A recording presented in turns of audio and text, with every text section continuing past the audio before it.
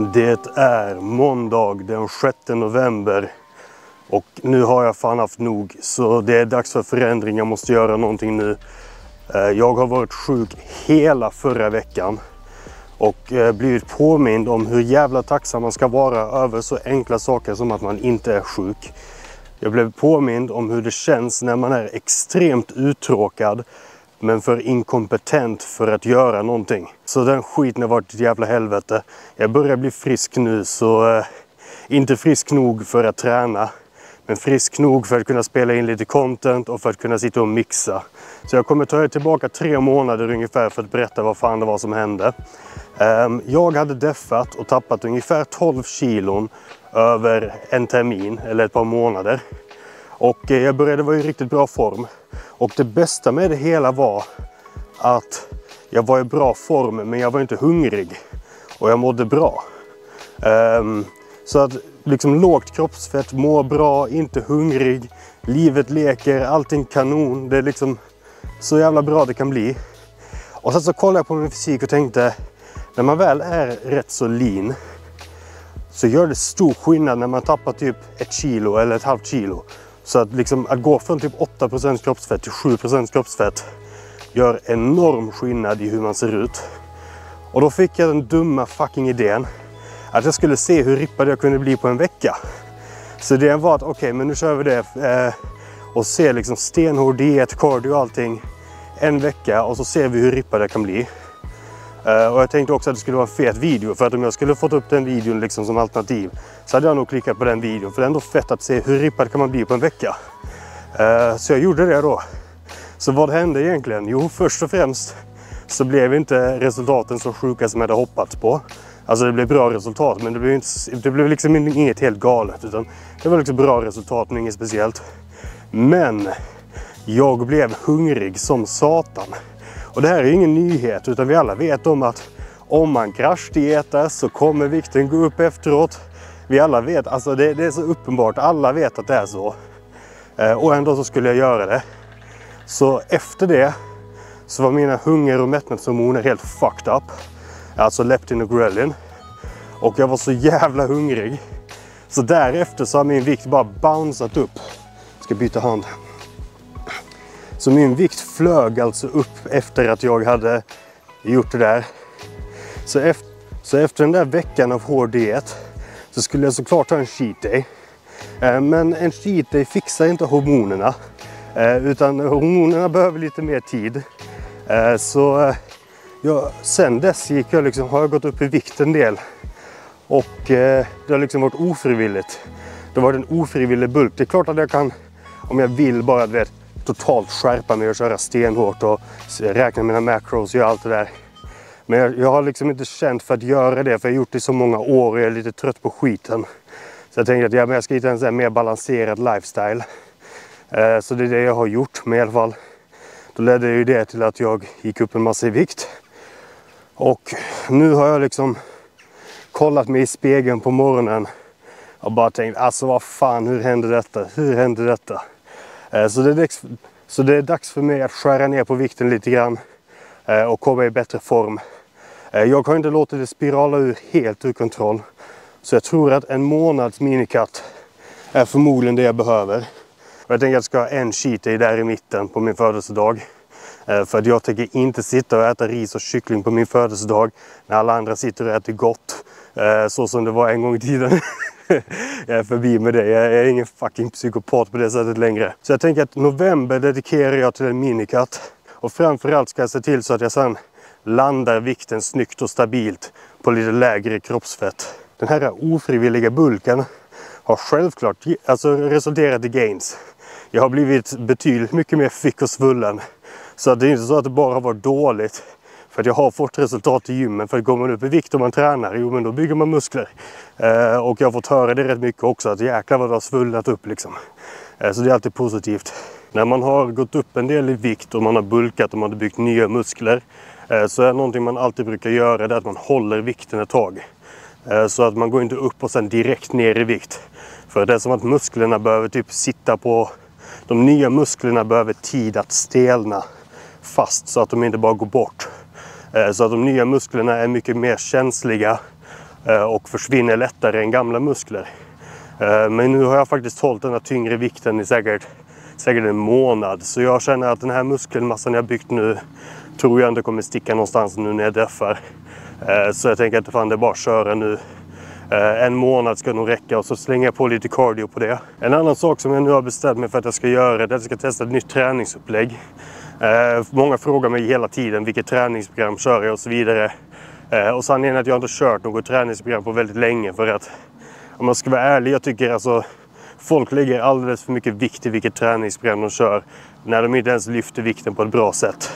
Eh, det är lite grann alltså det, det man prioriterar någonting som spelar rätt så liten roll istället för att faktiskt fokusera på det som spelar stor roll Eh, och lära sig träna på ett bra sätt och lära sig få en bra kontakt med muskeln och lära sig bra rörelsebanor och bra mönster och ja, allt det där som kräver övning Istället så vill man bara ha en quick fix och hitta ett träningsprogram och tro att följer jag det som står på pappret så kommer det automatiskt bli bra. Eh, vilket självklart är precis det alla vill. Alltså man vill bara kunna följa något som står på ett papper och så blir det bra. När sanningen är att det som tar mest tid att lära sig och det som faktiskt är viktigast det är inte vad som står på pappret utan det är att lära sig röra sig bra i gymmet. Men jag har ju i alla fall bestämt mig nu för att eh, köra ett nytt träningsupplägg. När jag kom in från den här lilla promenaden Eh, som just nu är cardion för att jag är inte frisk nog för att göra ordentlig cardio. Eh, jag är inte frisk nog för att träna heller, skiten suger. Eh, men när jag kommer in då ska jag gå igenom hur min nya kost ser ut, vilken cardio jag ska göra och hur mitt träningsupplägg ser ut. Vi syns där inne.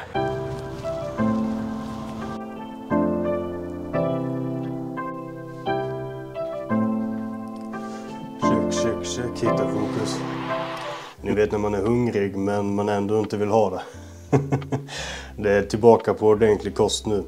Eh, så när man är van vid att äta som en normal människa, om man har gjort det ett litet tag, och sen så ska man börja äta råvaror igen, så som man ska göra om man är lite mer fitness eller kroppsbyggare eller vad man nu vill kalla sig för, ehm, så är det en väldigt jobbig tröskelperiod. När det spelar ingen roll om man är hungrig, man vill ändå inte äta skiten. Ehm, och då handlar det om att man äter skiten ändå, fast man inte vill det. Och så gör man det och så brukar det ta typ två, tre, fyra dagar innan man har ställt om sig. Eh, och sen så smakar detta lika bra som eh, vilken mat som helst för att man har ställt om sig. Eh, så egentligen så finns det liksom ingen anledning att inte äta bra när det bara tar två, tre, fyra dagar att ställa om sig. Och sen så smakar det lika bra som all annan mat gör ändå. Och dessutom när man är van vid sån här mat så kan man slänga in en cheat meal, en hamburgare och det blir så fucking gott. Jämfört med om man äter så hela tiden, då är det inte särskilt gott. Kosten nu består av fem måltider med 500 kalorier i varje måltid. Så jag sätter mig själv på 2 500 kalorier. För mig så är det väldigt lågt, så jag sätter mig själv väldigt lågt nu på kalorierna. Men planen är att det ska vara snabbt och aggressivt och att det ska vara mycket resultat på kort tid. Eh, så jag kör på detta sättet. Sen märker jag ifall jag tappar alldeles för snabbt och ökar kalorierna lite grann. Eh, men jag tror att det ska funka bra. Eh, sen så kör jag cardio nu också på morgonen. Planen är en halvtimme på trappan. Anledningen varför jag gillar att gå i trappan som cardio är för att det är den maskinen där man kan hålla ett långsamt tempo men ändå få upp en hög puls. Eh, så att det är rätt bekvämt om man ska på löpbandet få upp pulsen då måste man springa och det är inte min favorit för knäna. Eh, och cykeln, av någon anledning när jag kör cykeln så brukar det inte kännas så bra i mina knän heller. Så trappan i mina ögon är överlägset bäst för cardio. Ska smaka den då. Mm, där ska jag nog kunna vänja mig vid. Så där har ni kosten och där har ni cardio. Ingenting komplicerat.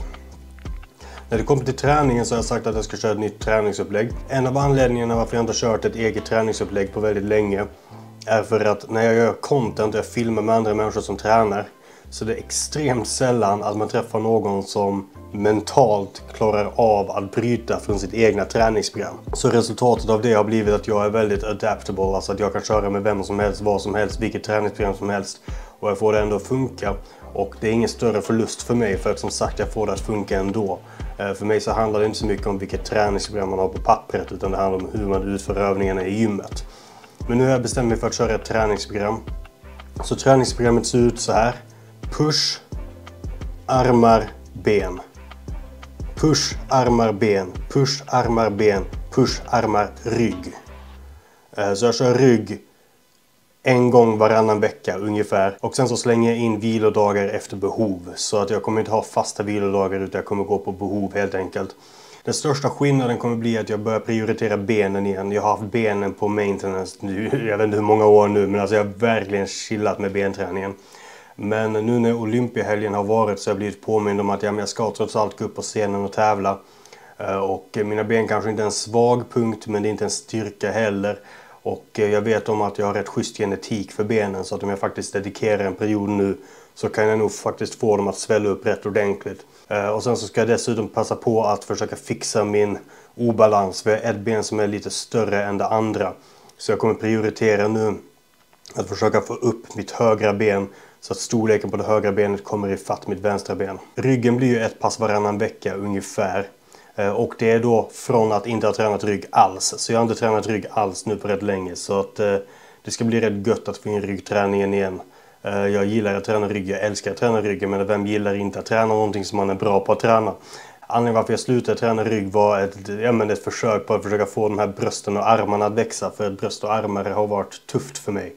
Jag tror att armarna kommer förmodligen aldrig att vara min styrka i min fysik. Men jag kan i alla fall se till så att de inte är en svaghet längre. Eh, bröstet eh, har jag nog också lyckats få upp rätt så bra, så det är gött.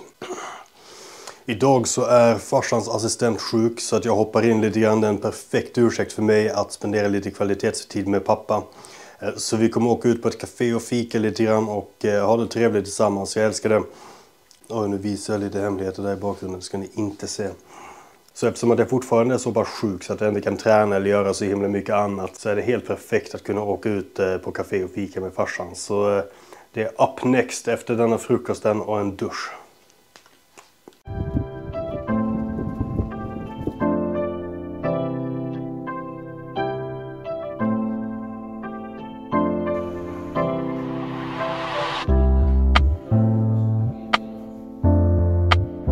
Jag eh, försökte filma och få det så bra ut där inne, du vet. Få det att se så mysigt ut som möjligt för Youtube-videon. Mysigt? Mysigt ja. Men eh, sen Ja, är, det, är det gott fika där inne? Kanske. Kanske. jag tror att fikat och bullarna är nog rätt goda men inte det mysigaste stället att sitta på. Inte det finaste. Eh, vad gör man inte för att försöka få det... 4 av 5. Pappa säger att det är 4 av 5. Jag tror att alla poängen kom, kommer från gott fika. Men mysigaste miljön är det nog inte.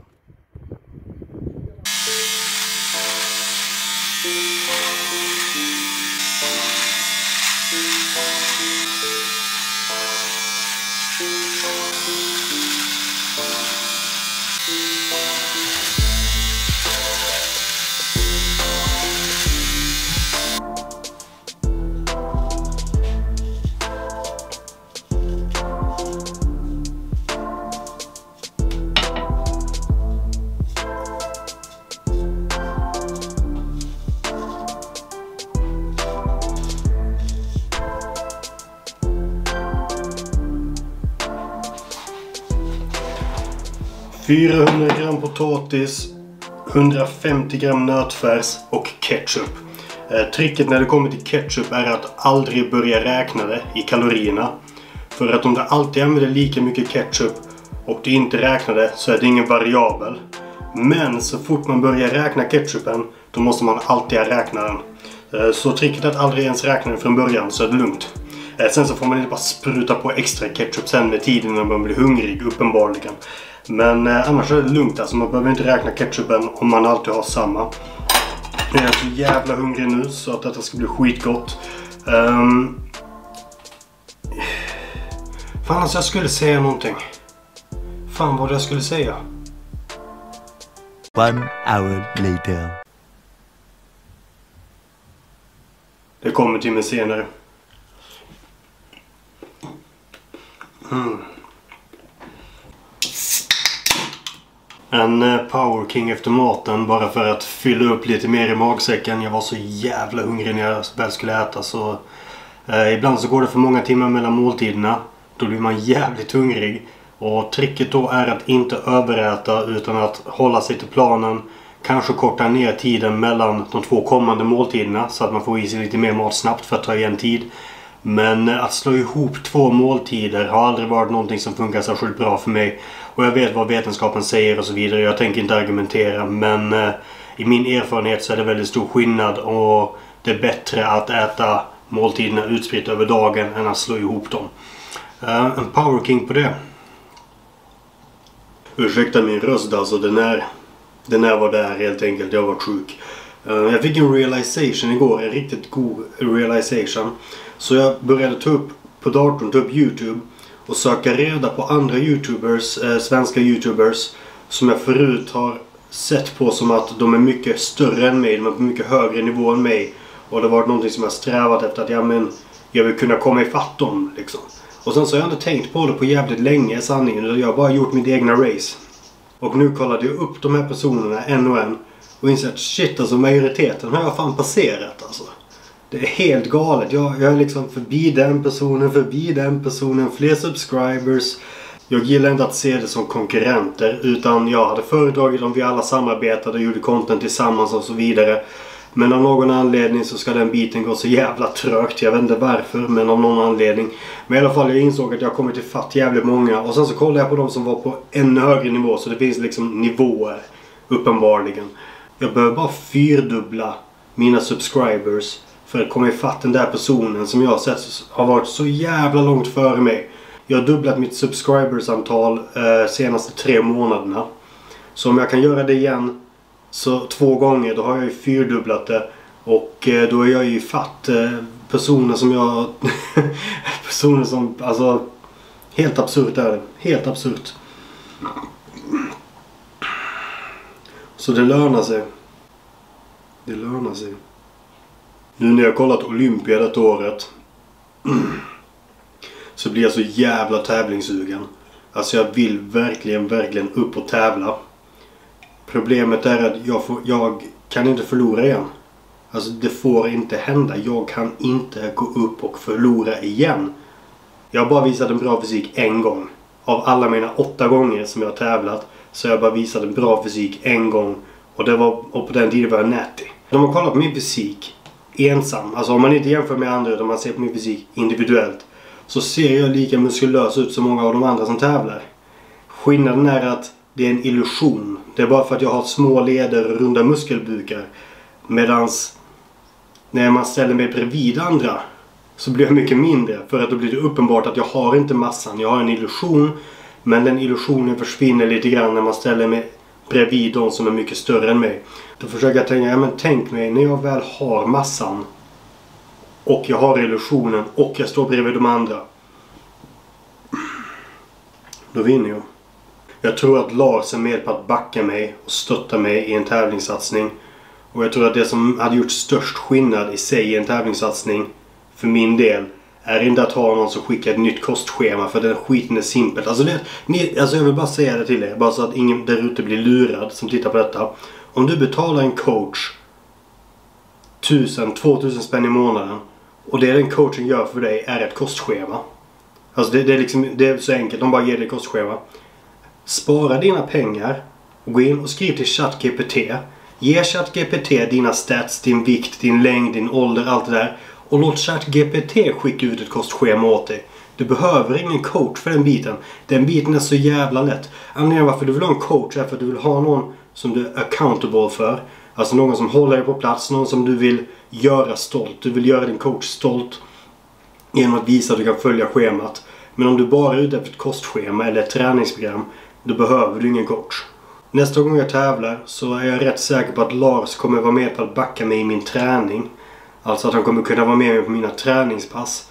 Och att ha en tränare på en tävlingssatsning är så jävla mycket mer värt enligt mig än egentligen att bara ha en vanlig coach. För att en vanlig coach, alltså kalorier in, kalorier ut, det är så jävla simpelt. Däremot att ha en tränare på plats som kan se hur långt kan man pusha denna atleten? Hur långt kan vi ta detta sättet? Ska vi göra fler sätt eller är vi färdiga?